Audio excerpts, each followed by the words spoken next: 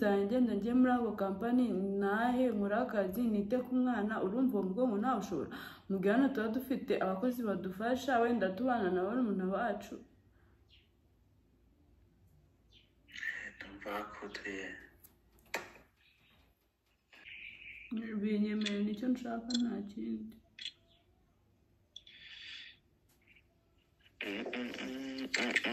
Mm, yego ntiwumva thank you honey. Ndawukunda Mwah. ariko ma. Ariko ariko ariko ariko. Eh, kuki uta- kuki utaza ukaba ahangaha bikamaze byakunanira? Ugashaka ugasubira ariko byakunaniye? Ndabizi ko nageze aho ngaho utabinyemerera gusubirayo. Njye biroroshye ni uguhita nkatisha mfite pasiporo nutazi nkasa nkibera aho ngaho. Ngaho ngo ngwino twibanire. Ntabwo ushaka umuntu umara muri pe ni imiteto ni imiteto nuba bivuga bose baguseka ushake n'ubaza wese araguseka arabwira ati ariko ugira ubwenge cyangwa bara- baraguseka baraguha urwamenyo we.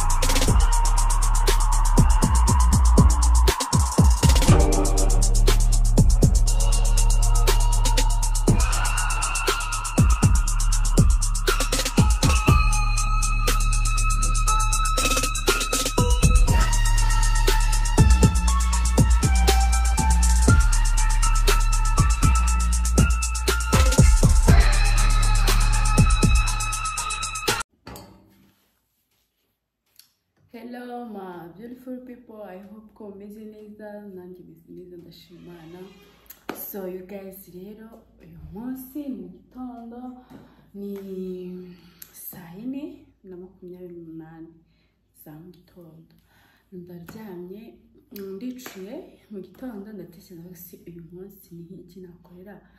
Umugabo wanjye. Ko hari abenshi cyane bambwiye ati watwimye puranka ntabwo duheruka puranka mu by'ukuri kwitegura biba bigoye.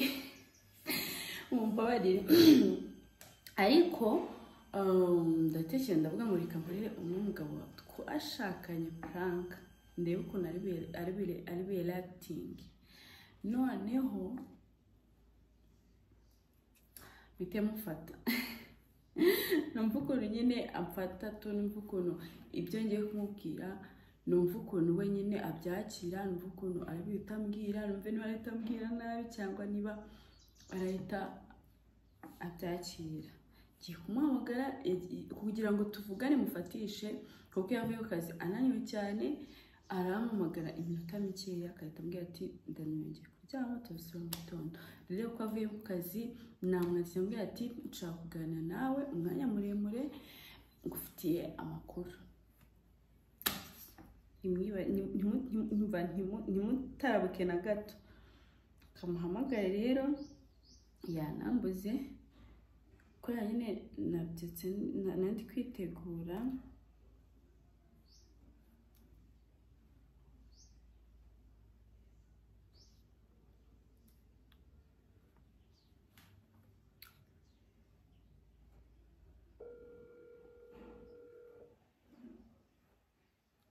Muri kumwe muri kubyumva ariko.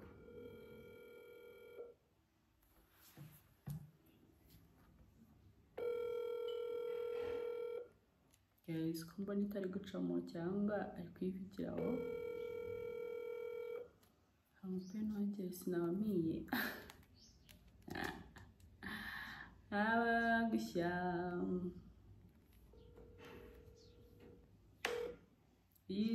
i- itari ringingi ntabwo iba iriho. Ariko mu gitondo. mana yanjye? Munsenge muzi neza ko itari gucamo. Ko nabamiye mm?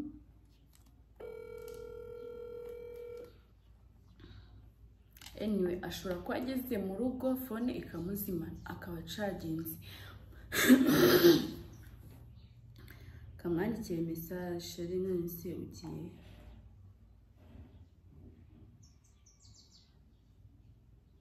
ko ubuze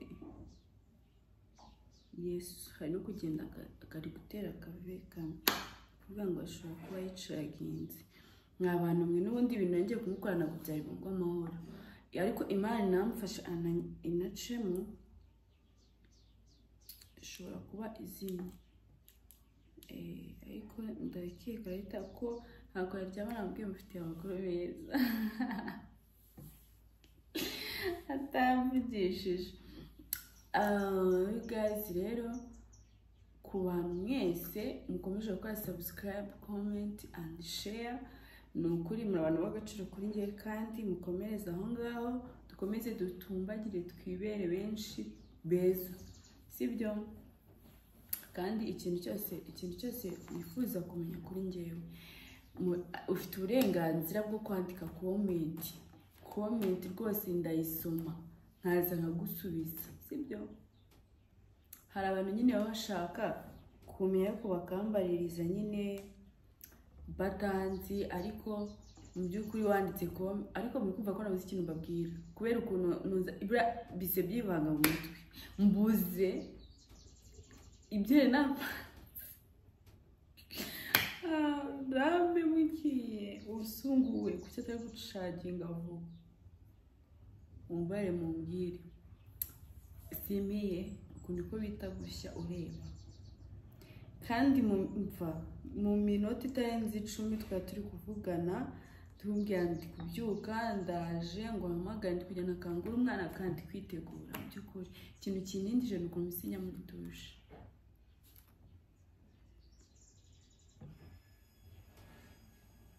ndahiye ndahiye ese telefone ibaye kano kanya kandi nandi kubivuga nabo reka mare gusetinga bingore nitegure nindangiza mu buri ha iravivuye. Iravivuye. Amakuru mashya mbahaye nuko mesaje mwandikiye ivivuye dukoni tubiri. Kamuhamagare. Ici kamuyotingi ici aritabye hano. Sinzi ukuntu nkumyotinze nayishyize ku gutwi none se ko ko wese ukuraho telefone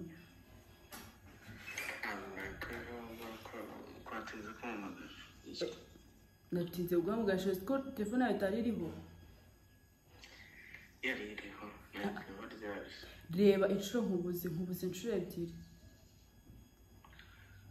mbese ntabwo mbese ntabwo ntabwo yageze ihora ese ni cyo yasetinze muri fone yawe. Ni ukuri ndaguhamagaye habe i- nyine igaragaza ko itariho na mesaje kugira ngo izacu haciyemo umwanya. Yaba ari n'amanetiwaka Hmm, umeze uteze ameze neza. Waryamye ariko? Ngiye kuryama ndananiwe pe. Nizishije ko nakubwiye ngo nshaka tuganira ngo ufite amakuru nkawe numva unaniwe cyane. Tureke tuzavuga nijoro yambwira nonese kumbwira umukuru ntabwo byatuma utambwira kandi kumva unaniwe cyane udashaka no kuvuga. Eh ndi kuvuga mbwira wowe mbwira nzongera tunabiganira ate?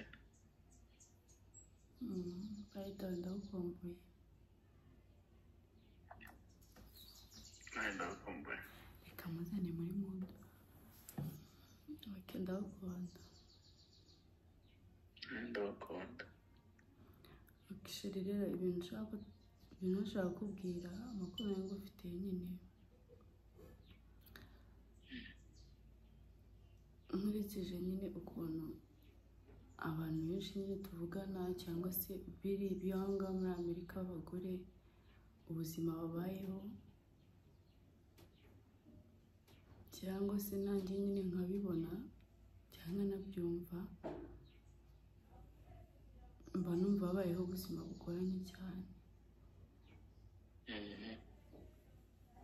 Ikintu nyine nshaka tuganiraho nshaka tuganira urabona umwana wenda nafite umwana nyine kugira twumvikane nyine ku bijyanye n'ukuntu n'ibintu byo kuza kuba aho ngaho nanjye nyine ndi kumva nyine bitandimo kubera ko nyine abagore b'aho ngaho ngo baravunika baravunika cyane nyine mba mbona ubuzima mbayemo hano nta kintu buntwaye ukageza ukadusura nk'ibisanzwe ariko sinzaza aho ngaho.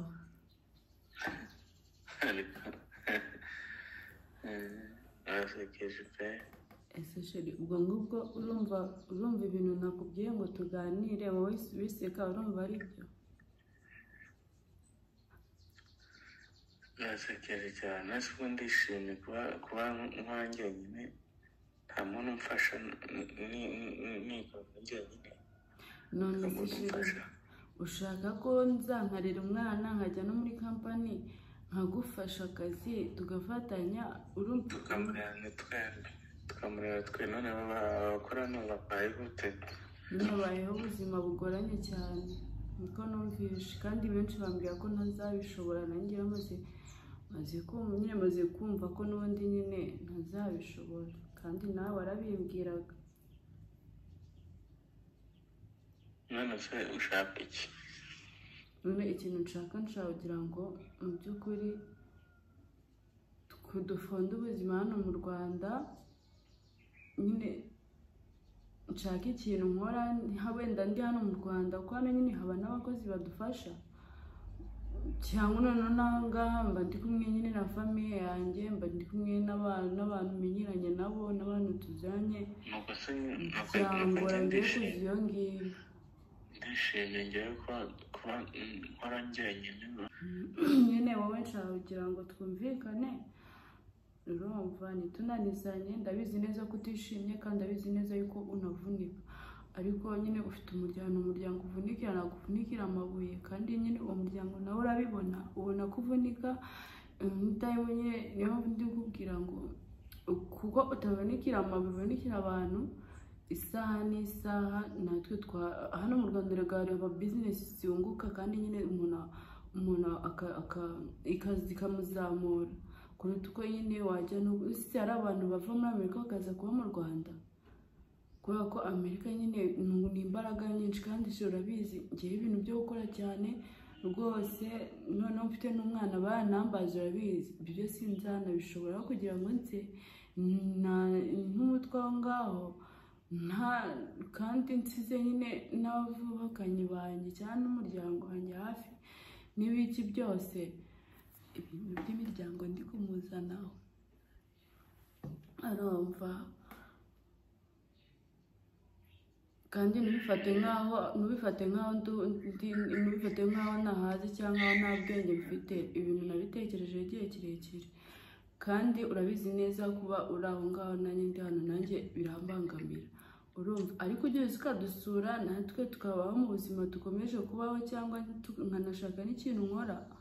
Urumva? Nkagikora. Ni uko ujya umbwira ngo nta kintu nshoboye gukora kandi mu by'ukuri ngikoze ni bwo wabibona ko ngishoboye. None se twashakanye kugira ngo dutandukane nk'ube ukwe n'undi abukwe none se nyine ko ari ari ntabwo tuza ntabwo turi bube dutandukanye ahubwo ni mu rwego rwo kugira ngo gutandukana none se niba udashaka kunsanga urumva urumva unshaka ahubwo kujya wanyanze byarangiye. Umva mbese shangiye ntabwo iyo aho ngaho. Niba udashaka kunsanga iyo undi urumva twaba twaba dushakana mu bikeya ese sheri tumaze imyaka ingahe tutari kumwe tutabana uza kudusura? Imyaka itatu ntigiye kurenga. None se sheri ntabwo ngukunda? ushaka ngo ube burundu? Ushaka burundu? Oya ntabwo nshaka ngo ube bunobe nyumva ariko nyumva wizana ibyo bintu. Ntabwo nyine ntabwo bishoboka ntabwo bibaho kandi niba ari n'igitekerezo wagize ni igitekerezo gipfuye ibyo bintu ntabwo bibaho Ako- gazi ko usigaye atanyumva? None se aba- aba- abazi n'aha abari injiji cyangwa se bose? Baba bashoboye kubyihanganira baba bashoboye kubyihanganira kandi njyewe urabizi ntabwo nashobora kubyihanganira pe ibintu nk'ibyo ngibyo urabizi ko njye ndambabara nabi kandi njyewe niyo mba mbere njyewe uri guseka ngo ese ubu kubera iki urimo kunsekura ukumva nakubwira ibintu bitari byo. ngo bashoboye kubyihanganira sawa? Na wa muntu yarampamagaye nyine kubera ko nari gutekereza ibyo bintu nanga kumwitaba wowe muntu se? Aho ndi wadoze Eh, sawa? Reka niryamire wenda kumva ufite ibitekerezo byiza bya reka ndyame ngo ntaheza kumva naniwe cyane. Nagiye mu kazi mfite. Akazirika nkubwire.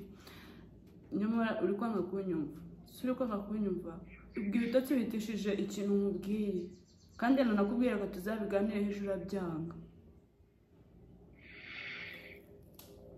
Ntabyo bintu uri kuvuga ntabwo bibaho. None- se. Uwo uri kuvuga ngo ngo ngo cyangwa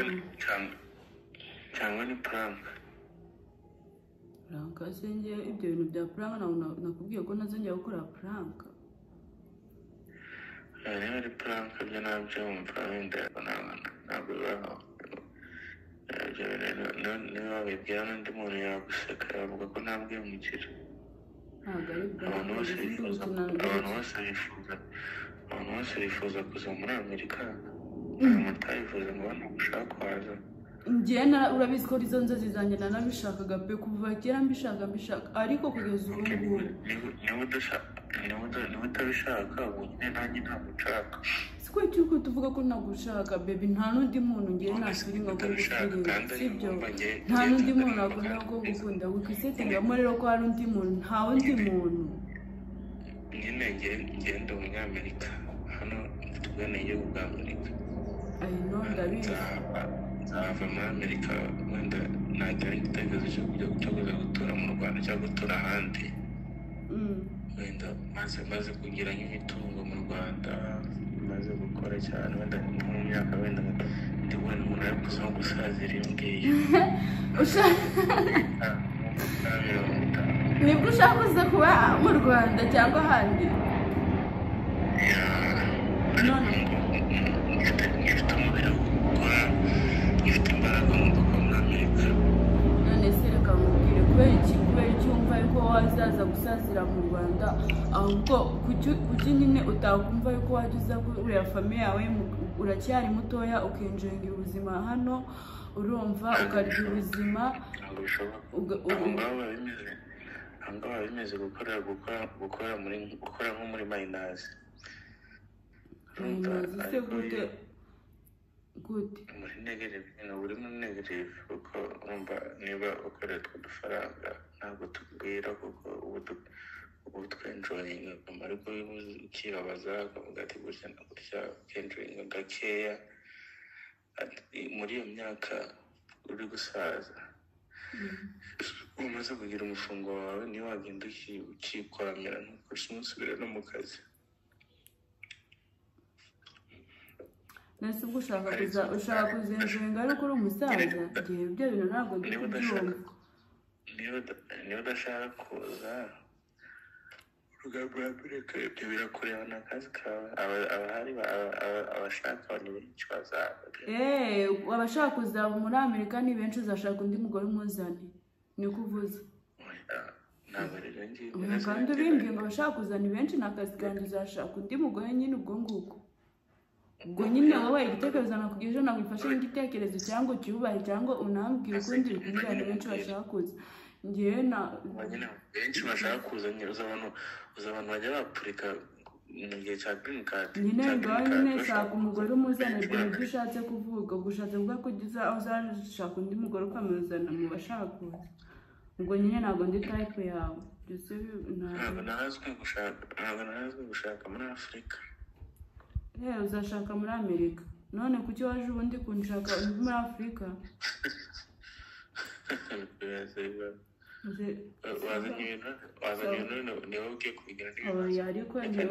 nese ubwo ngubwo kumbwira ngo ntabwo arashoboye gushaka ubwo waje gushaka muri afurika rero bagushyizemo inkoni cyangwa bagushyizemo umugozi? Ntawe mpase ntanacize umwotani uwo mugozi ni iryabyo ni iryabyo gateye kubera urukundo none se ubundi bwo waje muri amerika badahari? None se niba naraje muri amerika kuki ushaka kunyifuriza kuzajya nkora mu ndege? Si kuzajya wara mu ndege? Ibyo ngibyo ni ibintu bya danje. Na nyine arega ntabwo mvuze kuba ntaza kuba ngaho ntaza kugusura. Sitiresi yabuze? Ntabwo umuntu mukuru nkawe ntabwo watuma ntugende reka nkubwire none se reka ushobora kunyuma nk'umwana wanjye yakugeze mu maboko. Kandi ubu ngubu imbaraga nyinshi cyane uzajya uza utekereza ko uzi no kureba umwana wawe. nta mu- nta muntu wemerewe gutandukanya umwana na nyina. Rero umbwiye nawe urambwiye ngo ntabwo arazwi gushaka muri afurika ndababaye sawa rero saba nkomeze mbabare aho kubera iki nkomeze nk'umwanditsi Eh, kandi mpora mbivuga mpora mbivuga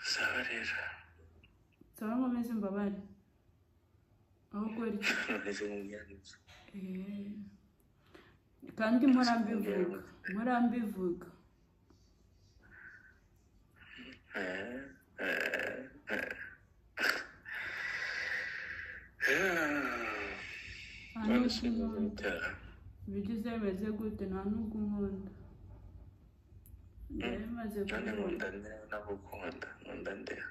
Nonese ku buryo wambwira ngo ni akazi kanjye nkomeze mbabare ntabwo mbizi pe wagira ngo nta rukundo kigira se wayi- wahita kinkunda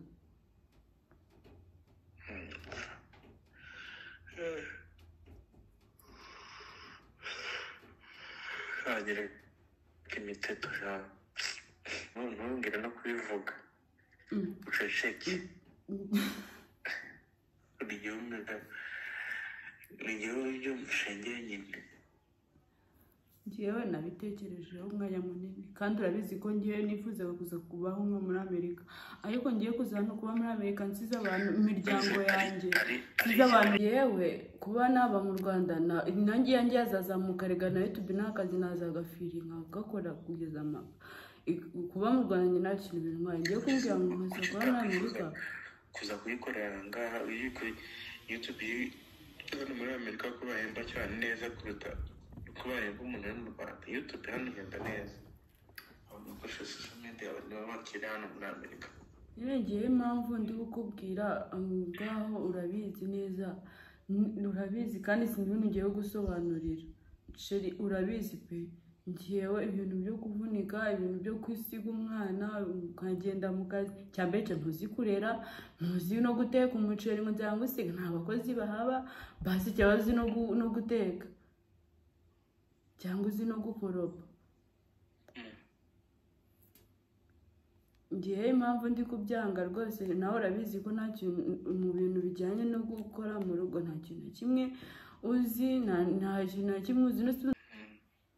Ntabwo nakoteye bebe nyine nshaka ko twumvikana kandi ikintu cya mbere ngewe urabizi ko ukunda kumvikana nanjye bashyiraho umvikana nanjye.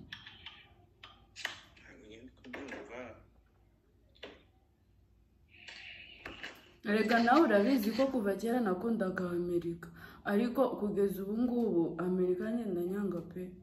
Amerika ituma abantu bahinduka bagenda bakaba ba- baka- nyine bitewe n'ukuntu bavunika n'ukuntu baba bameze bagahinduka imitima bakaba abana babi bakagenda basebyanya cyangwa akazi kakabananira bakarwara imigongo usubira kugira ngo njye guturika imigongo ntaribyarira. None ngo muri afurika ntabwo bakora. Nyine nanjye ndi kukubwira muri afurika nzakora ko nzafite n'umfasha akazi ko mu rugo. Aho ngaho uwo haba uwo ngo uwo ngo ugufa- u- u- ufasha uzi ngo ntabwo ari mu kazi. Mbese nudakora nudakora nu- nudakora uzamuhereza uzamuhemba iki? Kandi nyine nzakomeza ngakora. Mwese hose uzaba urimo kudukorera. Ntabwo ntabwo nabishobora. Warahisemo ngo ntabwo ushaka reka reka reka reka kubera- icyo utanyumva ntabwo mbizi mbambwe niba hari undi muntu usigaye uhari wumva ko njye ntabwo kinyumva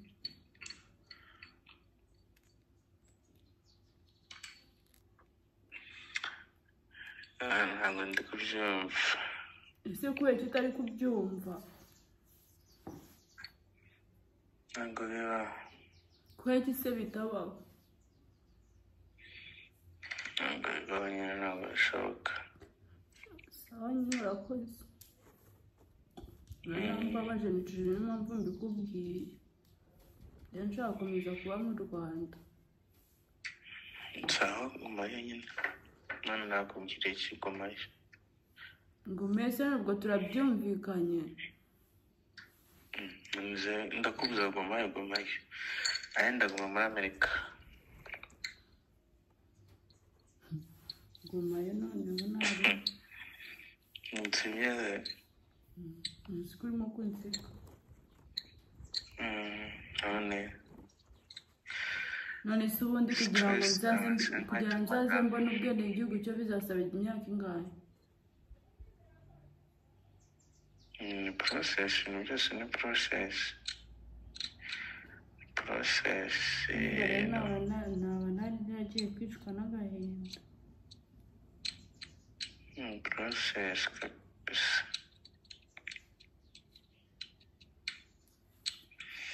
Mhm.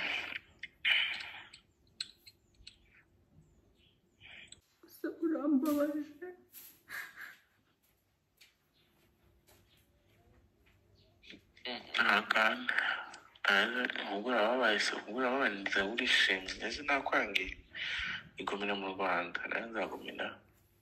Nese nuguma iyo ngiyo ntabwo nkeneye umuntu ntabwo ngukeneye. Mm, so waba wahisemo kutansanga? Mm, kongera nkahitamo ikikweri nyine wanyemera ko uzajya uza kudusura nkakubona nk'umugabo wanjye.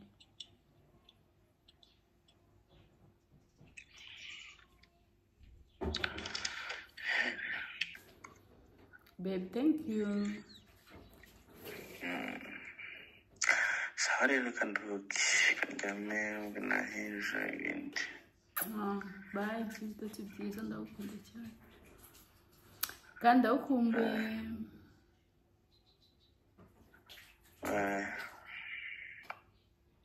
Love you. bibiri ndasigara mu rwanda ese nta n'amatsiko wumva ufite yo kuza muri amerika ngo harebe kweri bebe subiza nagiraga ariko ubu ngubu ntabwo nyagira pe kubera nyine bambwira ukuntu nyine iyo ndi kuvugana none navuganye na urabizi yageze ejobundi arambwira ati mu buzima nyine no kugira ngo ubone umuntu umubona atambuka ari mu modoka ngo waba ari mu nzu bari mu kazi udafite shift ya mu gitondo afite ya nimugoroba aryamye. Mbese ambwira ko n'umuntu baturanye kuva no kugira iwabo iminota icumi kubonana biba bigoranye. Kandi urabizi ngiye bwo ubuzima bwanjye butarimo abantu. Ntabwo nabishobora kandi niyo mpamvu mpangara mbere ese njye ahangaha nta bantu mbonana nabo ni gakeya gashoboka oya harakubesha ni gake gashoboka rero nanjye urabizi pe rwose amaso yanjye rwose nawe urabizi eh? Nakubwiye niba udashaka kuza muri amerika nanjye ntushaka none se ntabwo wanyemereye nyine nanjye ntabwo ushaka nzabasura pe ariko ibyo ngibyo ni byo nshaka byo kuza kudusura ukagera ku muryango wawe ugasubirayo natwe turi hano. Nta bindi. Urakoze cyane. Hmm? mwaraheze ishanga. Hmm? mwarakunze ishanga. Twarafunze ishanga. Ehe guhera ishangura bizi icyo ari cyo ni uguhera ahantu. Mbese hatari iwawe Eh, rero, abantu tuzajya tuza kugusura mugabo mwiza kandi ndakunda ngo kutagira imbabaza uza gusura nde? Wowe hari ikibazo yego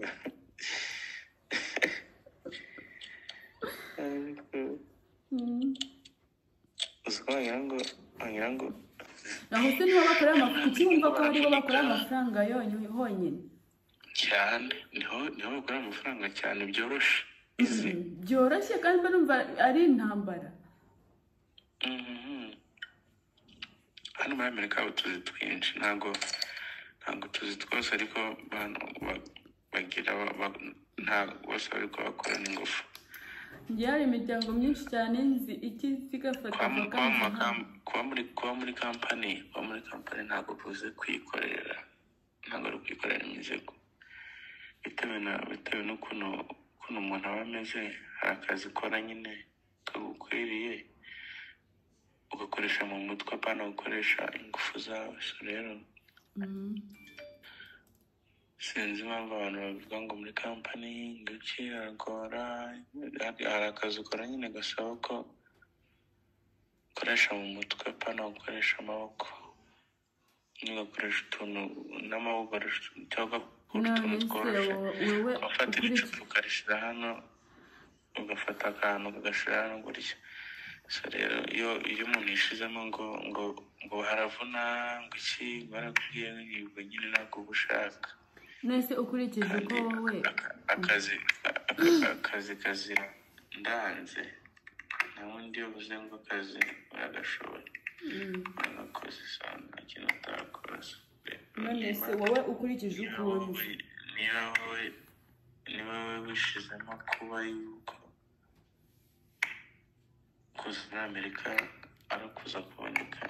Ubwo nyine ni uko yarangiye. Uzaguma iyo ngiyo ukora akazi kaguhemba neza. Akazi kakakwishurira ibyo ushaka byose ubeho ubuzima ushaka. Mm. aho ngaho mu rwanda. Noneho ni ukuvuga ngo kuba mpisemo kuba hano mu rwanda nkwiyeho amaboko. Kandi wanyemereye. Ntabwo ntabwo bimeze ntabwo wakanira. Ni choice yawe reka. Ni amahitamo yawe. Kandi njyewe nakuzanye igitekerezo kugira ngo tugifatanye tugi tugi tugi. Ntabwo ntabwo nagifatanya nawe.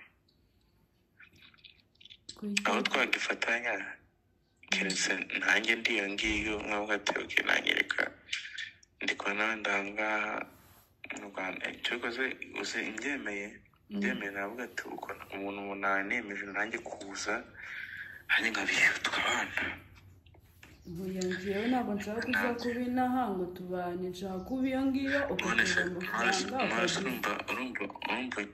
urumva ushaka kubaka. Ndabishaka nese umuntu ntabwo yubaka imyaka itatu ishize ntabwo nubatse. Nese umaze igihe kingana gito utazi niba umuntu muzima ahitamo kuba atari kumwe n'umu- n'umuntu bashakanye ntabwo aba ashaka kubaka. Ntabwo byumvikana. Ntabwo bimekinze sense. Ahubwo wari kuvuga ngo vayo- wibera tubana aha ngaha tubane mu bukene bw'aho ngaha. Kuko amerika sinashobora reka reka ntapurika akazi. Harya akazi ka- kangaho kambere na kuba umukarasi nzi imiti nkora moto. Mu motari sheri sheri yari puranka ko nafite digiri ntuza phd ngo ndaza mpita n'afurika njye kuba minisitire umva nkubwire Hmm. yari puranka nyine ndakumvishije numvishije nyine ukuntu uku- mbega umugabo Hmm? Eh, si wowe uba uta ut- reka nkubwire sheri mu by'ukuri ndakumvishije uvuze ukuntu nta n'ubwo unkunda. Unkunda akambwira ati mugore mwiza wiza kuvunika.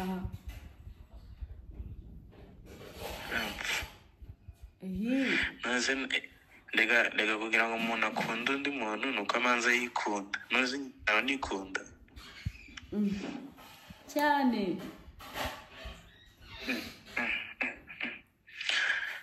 kuzajya mvunika nkavunika burya n'umuntu udashaka no kunsanga Mm.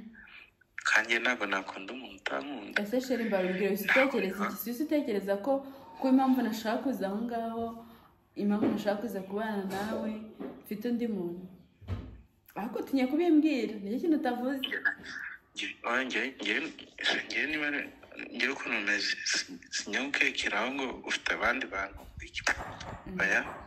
Mm. ntabwo uzi ibitekerezo ntabwo njya mbitekereza. Neva ni byo byiza. Ntabwo bimbwa ni byo byiza. Ariko nyine aba yahise akeka ibindi ati kuko utanashaka nyine ufite undi ushaka mu rwanda.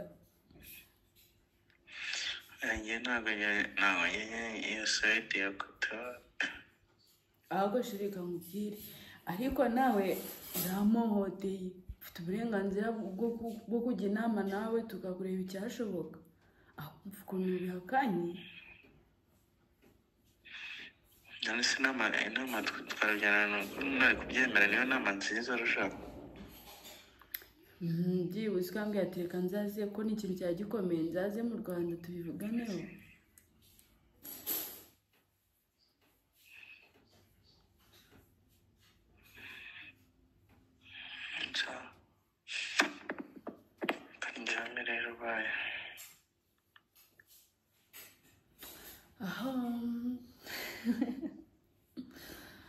Bye, babe. Thank you. I love you. Yazi ushaka views views zigiye kuri iriganya ngo views kuba n'ibyo views eh? ariko sheri ntabwo.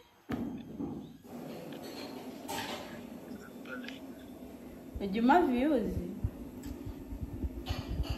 abantu bakunda byacitse.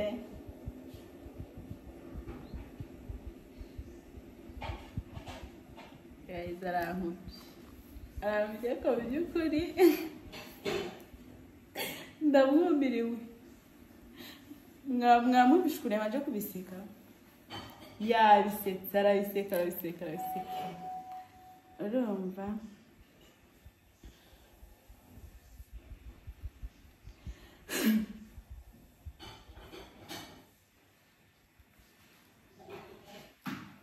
Telefone ku ruhande.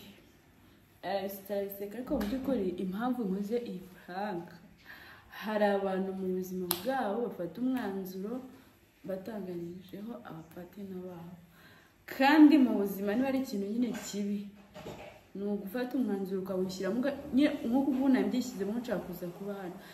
Nkabyishyiramo niyo yamakanira naturika. Ubundi ikintu kibi mu buzima ni ugutekereza ikintu ugafata umwanzuro utabijyaho inama n'umuntu. Mubana ibyo bintu bigutera trauma. Nk'ubu ngubu nyine abyanze cyangwa wenda ashyizemo ngo ni ubwo ni ubutetsi nyine nahita numva kuba byacitse nkumva ndamwanze nkumva turashwanye nkumva nyine tukanashwana ku- kubera iyo mpamvu.